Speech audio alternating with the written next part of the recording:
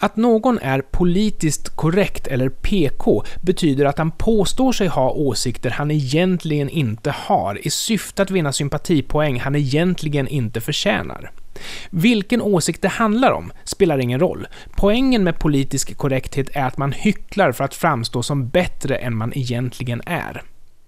Att en persons åsikt är politiskt korrekt betyder att åsikten är att betrakta som korrekt och att den kan användas för att vinna politiska poäng genom att påpeka att man har åsikten.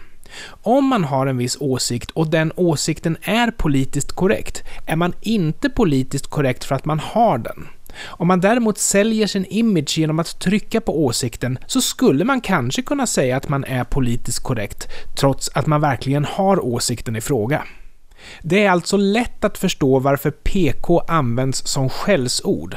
Den som anklagar någon för att vara PK säger att personen säger saker om sig själv för att bättra på bilden av sig själv. Däremot är det väldigt konstigt att personer själva säger sig vara PK.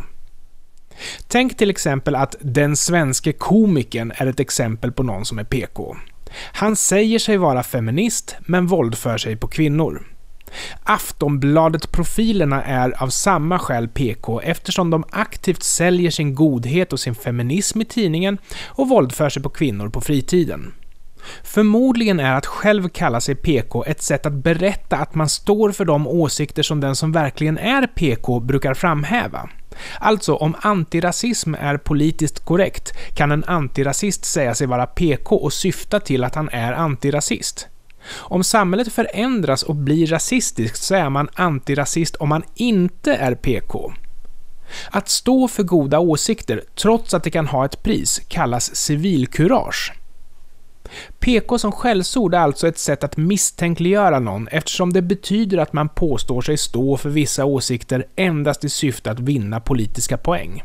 När man beskriver sig själv som PK så tappar ordet sin betydelse en aning, eftersom det då förväntas betyda att man har de åsikter som råkar vara PK, men troligtvis inte för att de är politiskt korrekta.